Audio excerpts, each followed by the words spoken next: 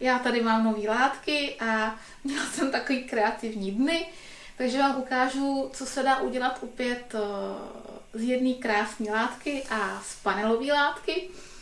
A protože můžeme tvořit, jsme ještě furt zavřený, já mám na sobě oblíbený overall, protože nikam ven si ho vzít nemůžu, tak jsem si ho vzala aspoň sem.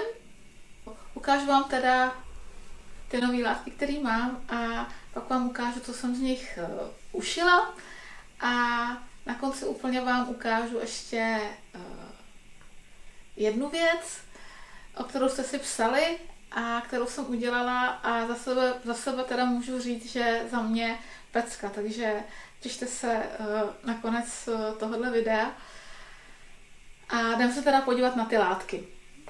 Tak já vám ukážu nejdřív ten panel, ta látka je černá, což u mě není úplně zvykem, ale ta látka je prostě nádherná. Takže uh, takhle vypadá ten panel. Je to bavlna s elastanem. Uh, je to z mých oblíbených DR látek. Takže tohle je prostě nádhera. Já vám ten panel změřím. Ten panel má na šířku je 60 cm. Vidíte, že je 60, 59, 60 cm. A na délku by měl mít 1,20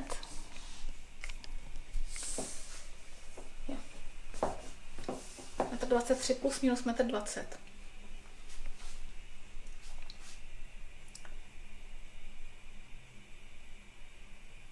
Takže je to bavlna s elastanem, je to digitální tisk a jak jsem říkala v minulém videu, digitální tisky se dělají vždycky na bílej podklad, eh, což prostě nejde udělat jinak. Eh, při tom zpracování se eh, s tím musí počítat. A na co je to vhodný? Já teda jsem z tohohle panelu udělala troje různé šaty, triko jsem ještě nestihla, to vám ukážu příště, i třeba s položením opět střihu na tenhle ten panel. A uh, je teda k tomu potřeba koupit černý úplet. Já jsem teda používala černý bavlněný úplet, který jsem si taky vzala na DR látkách, abych to prostě měla najednou a který docela barevně sedí, to potom uvidíte vlastně k této lásce je to trošku jiný materiál, takže je potřeba, když se s tím pracuje, s tím trošku po, počítat. Digitální tisk je vždycky trošku pevnější, působí trošku, jakoby, že to je pevnější látka. A takže jsem to skombinovala a za chvilku vám teda ukážu ty troje šaty z tohohle toho panelu, jak se s tím fakt dá hrát. A přestože já moc černou nemám ráda, tak ty šaty jsou prostě nádherný. A ještě vám ukážu. Tomu panelu je vlastně ten samý motiv v celoplošném tisku. Takhle je eh, celoplošný tisk. Opět je to, je to bavlna s elastanem, je to pevnější gramáž, je to digitisk, to znamená ruky je bílej samozřejmě.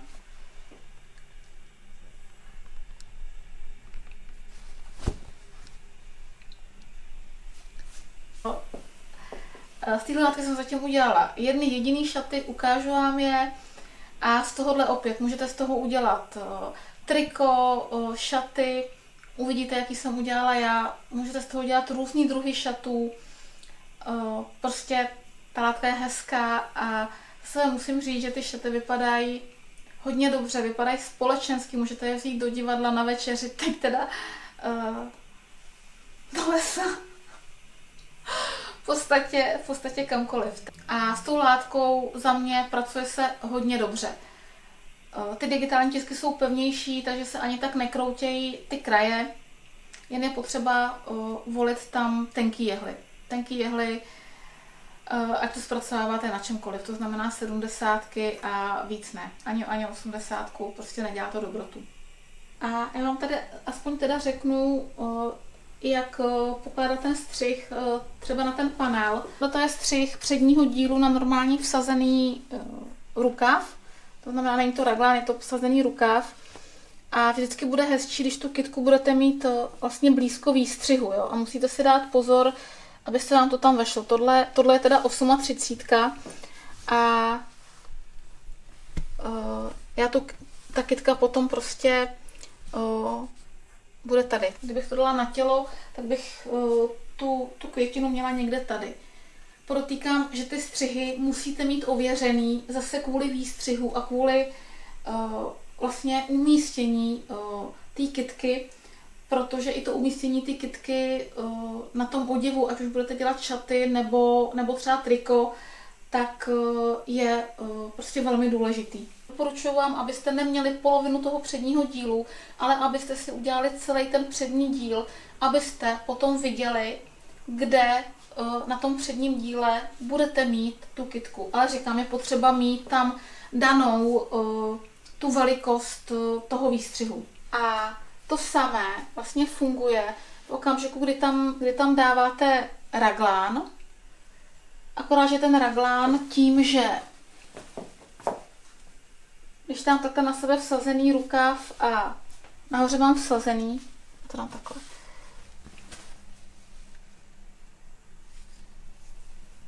Jo, uh, tohle je raglán, tohle, tohle je vsazený rukáv, tak vidíte, že ten vsazený rukáv je v této části uh, prostě větší. Je to z toho důvodu, že ten raglán je střižený takhle. On je střižený takhle, takže tady chybí vlastně tahle ta část.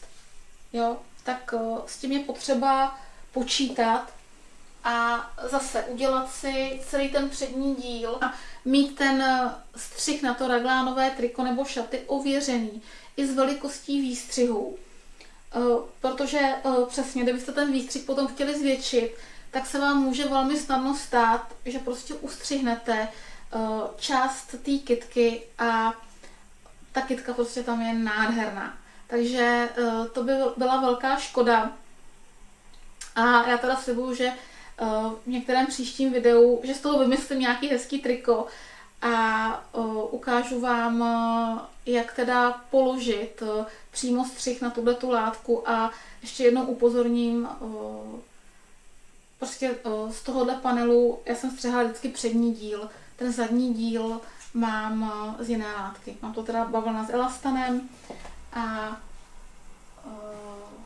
a úplně v pohodě se s tím dělalo jen ta bavlna s tím elastanem, přestože to je tohle je taky bavlna s elastanem, ta doplňková látka byla taky bavlna s elastanem, tak ta jednobarevná bavlna s elastanem se chová trošku jinak, trošku víc pruží než eh, teda ten digitální tisk, ale eh, to tak prostě je eh, téměř vždycky. A já vám ukážu, co jsem z této látky teda ušila, abyste měli nějakou inspiraci, protože spousta z vás mi psalo, že smutný dny a tak. Vykašleme se na to a pojďme si dělat radost sobě a svým blízkým, ať čímkoliv. Tak a šaty číslo jedna. Takže tohle jsou šaty číslo jedna. Mají raglánový rukáv, víte, že to mám ráda, mají teda asymetrický výstřih, já jsem ho tam dělala z toho důvodu, protože jsem právě tu květinu chtěla nahoře a nechtělo se mi do ní úplně zasahovat. Takže ty jsou pouzdrový, jak jsem říkala, vzadu jsou vlastně černý a mají teda jenom černý rukávy a uznáte, že jsou super prostě. Takže tohle jsou první šaty a uh, já vám teď ukážu šaty číslo dvě. Šaty číslo dvě. Šaty jsou falešně zavinovací, znamená to, že jsou jakoby přes sebe. Uh, zavinovací jsou teda obráceně díky tomu vzoru. Normálně um, dámský zavinutí nebo zapínání je pravá přes levou. Uh, tady je prostě potřeba dát to na druhou stranu, takže to je jediný, co tam je prostě jinak. Eh, tady jsou řasený, vlastně jsou řasený do bočního švu. A ta druhá polovina, tahle vlastně je zase z té černé bavlny a já ji mám jenom do pasu. To znamená, ten přední díl není dvojitý. Eh, tahle část, ta pravá, mi končí někde tady. Vlastně těma šatama a samozřejmě záda jsou, jak jsem říkala, eh, černý. Takže Tohle jsou, tohle jsou šaty číslo dvě, za mě taky prostě hodně dobrý. Ty zavinovací šaty vlastně slušejí většině typů postav. Takhle dvojka a jdeme se podívat na třetí šaty, to je taková jako letnější verze a uvidíte, uvidíte, jak se nám budou líbit. Když tak mi napište do popisku, který jsou pro vás vlastně lepší. Za mě všechny tři a vlastně, nebo čtvery a vlastně nevím, který bych si jako nechala. Šaty číslo tři, trošku letní verze, tyhle jsou nařasený zase tady do výstřihu a mají tady takhle prostě na výstřih, takže to je taková letní verze, jsou e, na zavazování, zadek je teda opět černý, to už jako nebudu ukazovat. A za mě taky. Prostě dobrý šaty a uh, já jsem, si, já jsem se docela vyhrála prostě s touhletou látkou. Uh, letní verze těchto těch šatů, pokud nás třeba v létě pustí ven, tak uh, je potřeba to využít a uh, hezky se obléknout, protože uh, prostě uh, ta psychika kolem už prostě není dobrá. Uh, je dobrá už u málo koho. A já vám ukážu ty poslední šaty, a pak se vás pokusím pokusím se vám prostě třeba trochu zvednout náladu. Pokud, pokud se vám nezvedla do teďka, pokud ještě prostě nejste tak jako, že jako tohle bych si chtěla ušít, nebo tohle, tohle, tak uh, uh, uvidíme. Poslední šaty z této úžasné černé látky, tohle je ta s tím celoplošným tiskem, takže půlkolová sukně. Já tady teda mám ještě v pase sklady a Tohle jsou prostě takový ty klasický padesátkový šaty. Eh, zase za mě super, přestože černou prostě nemám vůbec ráda, tak si myslím, že eh, tato látka je prostě krásná. Eh, pokud chcete být trošku sexy, pokud chcete být jakoby hodně ženský, slavnostní, protože hm, tato látka, tato látka prostě taková je. Tak eh, a myslím si, že cokoliv z ní ušijete, až už z toho panelu nebo, nebo prostě z tohohle toho celoplošního tisku, tak, eh, tak prostě bude nádherný. Já si s tím ještě budu chvilku hrát. a pak vám třeba v nějakém dalším videu ukážu, eh, zase to jsem si ušila, protože dneska to je spíš takový, to jsem si ušila. A uh, já, teda, já teda z to mám hroznou radost. Takže uh, doufám, že jsem vás trošku namotivovala, abyste si zkusili sednout k čícímu stroji. A teď ty, teď ty poslední šaty, šaty, které mi teda dali trošku zabrat, uh, abych je vymyslela, abych to udělala a um, abychom to udělali v nějaké formě pro vás.